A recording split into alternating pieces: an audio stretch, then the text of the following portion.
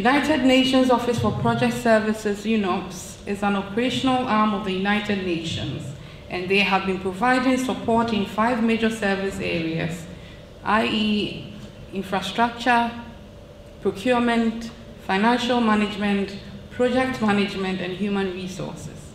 They have been in existence since 1999 and significantly scaled up activities after 2005 to support populations affected and also vulnerable people.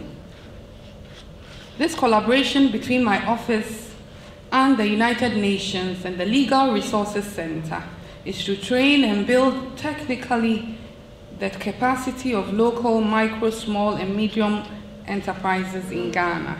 And this is important because micro, small, and business and medium enterprises are key contributors to Ghana's economy.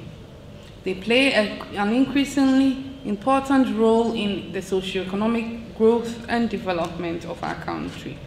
Therefore, MSMSCs have a crucial role in stimulating the growth and development of our country and in generating employment and contributing to poverty alleviation in Ghana. The importance of micro, small, and medium enterprises cannot be downplayed or underestimated. Therefore, we hope to achieve our aim this, during this two-day event. Um, the micro, small, and medium enterprises, I must say, approximately contribute about 70% to Ghana's gross domestic product, which is our GDP, and account for about 92% of businesses in Ghana.